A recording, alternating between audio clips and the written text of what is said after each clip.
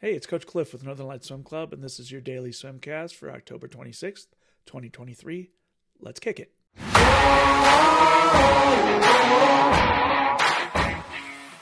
First up, we got a set of seven 100s. The odd ones are all freestyle, the even ones are your choice of IM or backstroke.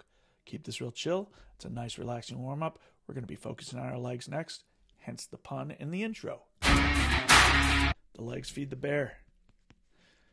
All right. We got 10 200s, alternating a 200 flutter kick with fins and a 200 dolphin kick with fins.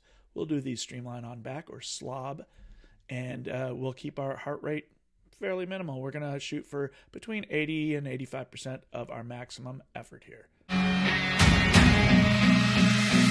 We want to continue working on our legs, but let's get a little bit of stroke work in too. We got a set of 50s, breaststroke down, freestyle back. We're going to stop at mid pool, both directions, and do 15 seconds of vertical kick. So on the way down, it'll be 15 seconds of breaststroke vertical kick, and on the way back, it'll be 15 seconds of flutter kick. We have an opportunity to work on our open turn at the end of the pool.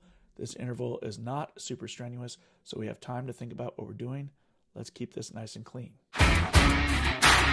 Keeping in with our kicking theme, we're going to finish up practice with a 600 IM kick. You can do this with a board. This could be social if you want. See you at the pool.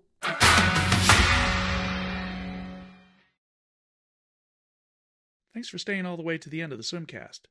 Please click like and subscribe so that you don't miss any future swimcasts. We'll see you at the pool.